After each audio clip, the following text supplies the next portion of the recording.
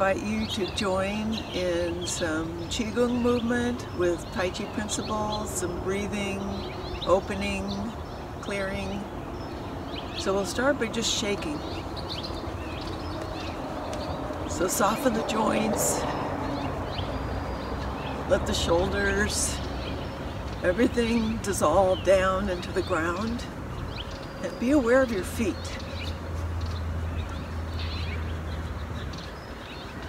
So in meditation practice, our attention and awareness goes up. And when we're in our body, we want to be grounded.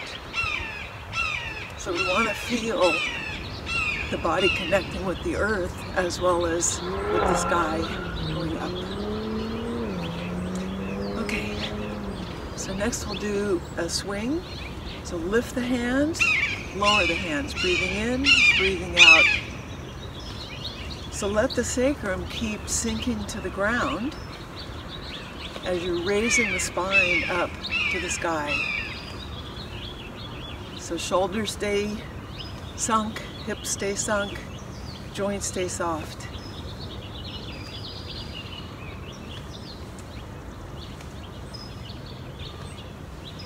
Okay, next we're going to do a side swing. So we want to keep the space between our legs open. Keep the knees over the feet. So rotate the torso from the bottom, the abdomen, on top of the hips. Let the arms swing freely. So we're not leading with the arms, we're leading with the bottom part of the torso.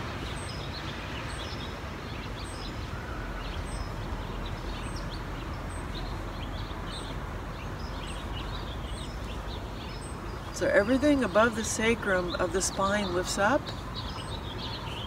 And at the same time, we're dissolving down.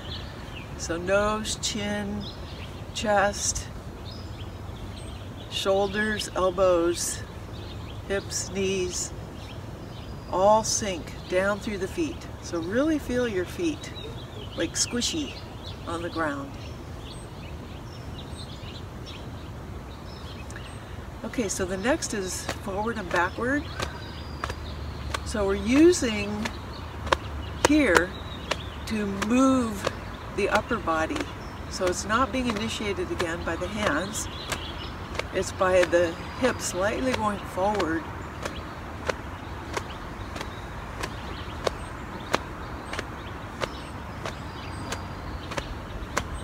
If this is too much to go against the thighs, you can just do it next to the side. But each time you go back and forth, feel the shoulders dissolve more and the spine lift. So you're creating more space in the spine, up through the neck, into the head, and up through the crown. Okay, so the next one is crossing the chest, opening. So the shoulder blades really move, closing when you open and open when you're crossing the chest. Again, we want to keep the joints soft because anytime you lock the joints, you're blocking energy and resisting. And it also blocks the adjacent joints. We want to keep the synovial fluid flowing freely, lubricating the joints letting the energy travel throughout the body unobstructed.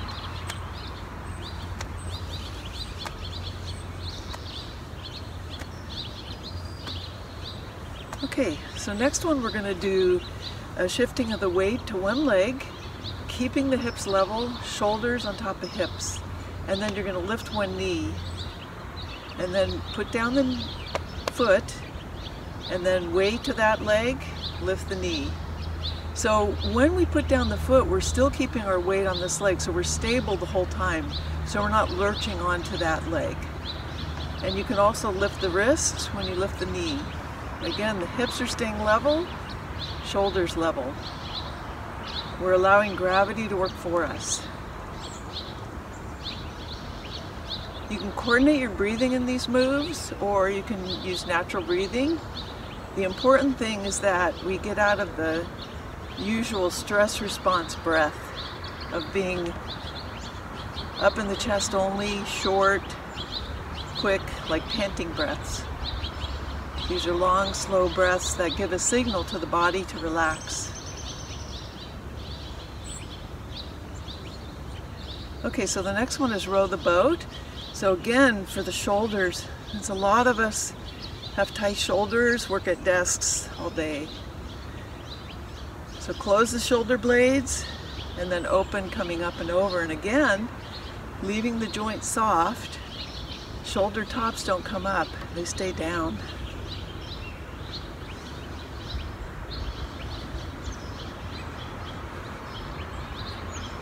Again, sacrum keeps sinking down.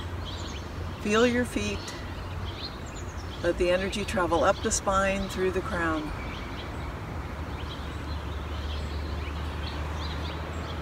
Okay, next one, holding the ball. So we're going to put the weight on one foot. We're going to rotate on top of that foot without letting the knee waver. Stays facing forward. This hip stays level as we lift the heel of that foot. At the same time, that same hand as the heel is up goes up and we're rotating it looking into the palm. So it lowers when the weight goes to this foot.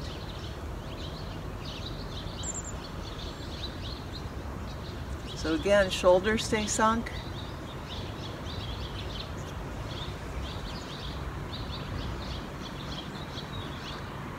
We're using the body to lift the hands. So as much as we can make the movement originate from the base of the body, the more energy we create in the whole body. When you move the lower body, it generates a lot more energy in the upper body than if you just move the upper body and not the lower body.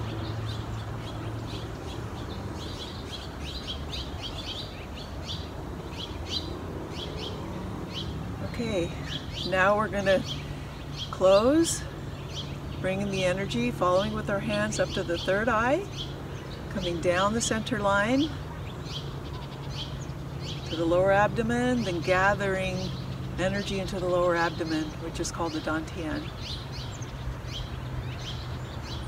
So from our mind, relax the eyes back to the optic nerve. So really soften the eyes, neutralize the eyes, soften all the muscles, the joints, the jaw, the temples, everything releases.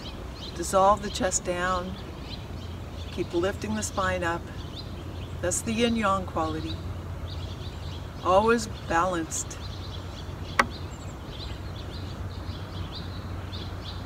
And then from the third eye, Bring the energy down in front of the spine to right behind the hands.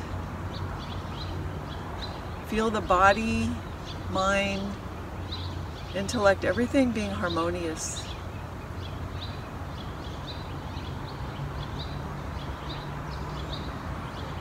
So space here and in between the armpits and the neck being open helps to make the whole body coherent makes it work together in harmony.